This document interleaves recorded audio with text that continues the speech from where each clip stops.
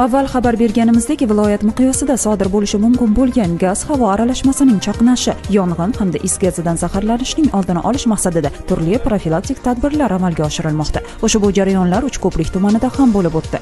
Katta qorako'l mahalla fuqarolar yig'ini katta qorako'l qishlog'idagi ikki yuz saksonta aholi yashash xonadonlari o'rganildi. O'rganishlar davomida to'qqizta kamchiliklar aniqlanib ularning barchasi joyida bartaraf etildi. Bundan tashqari soha xodimlari bilan hamkorlikda xonadonlarda o'n beshta iste'molga yaroqsiz konserva mahsulotlari aniqlanib to'kib tashlash yo'li bilan yo'q qilindi. Tadbir davomida uchko'prik tumani o'n to'qqizinchi sonli maktab o'qituvchi va o'quvchilari bilan favqulodda vaziyatlarni oldini olish yong'in xavfsizligi qoidalari va huquqbuzarliklar profilaktikasi bo'yicha yig'ilish o'tkazildi. Shuningdek uchko'prik tumani yigirma uchinchi sonli maktabgacha ta'lim tashkiloti tarbiyachilari bilan favqulodda vaziyatlarni oldini olish yong'in xavfsizligi qoidalari bo'yicha profilaktik suhbat olib borildi. Qurilishda yong'in xavfsizligini ta'minlash borasida uchko'prik tumani bog'i bo'ston mahalla fuqarolar yig'ini mulla zoir mavzesida yangi qurilayotgan o'n bitta ko'p qavatli uylar quruvchilari bilan tushuntirish ishlari olib borildi. Yong'inga qarshi suv ta'minotini o'rganishga doir bog'i bo'ston mahalla fuqarolar yig'ini qo'qon erkin iqtisodiy zonasida joylashgan yerosti yong'in o'chirish gidrantlari tekshirishdan o'tkazildi. Shuningdek texnologik jarayonlarda xavfsizlik masalalarini ta'minlash maqsadida